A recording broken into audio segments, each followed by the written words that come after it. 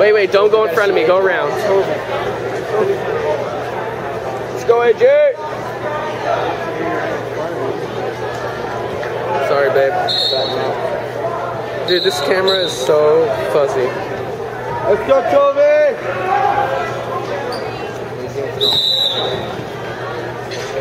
Let's go, cowboy.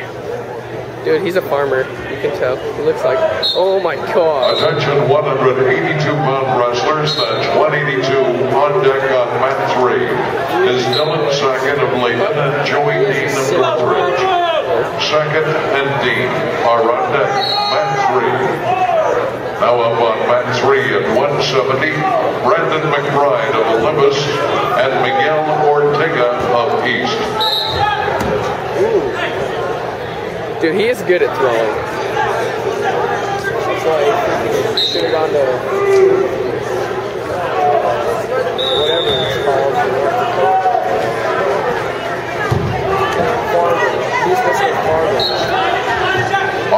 three, McBride of Olympus, a returning state champion, is 17 and 0 this season. He's a senior. Then he uses all of his strength to freaking rip him. Attention 182 pound wrestlers.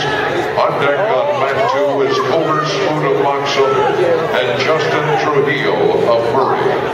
Spoon and Trujillo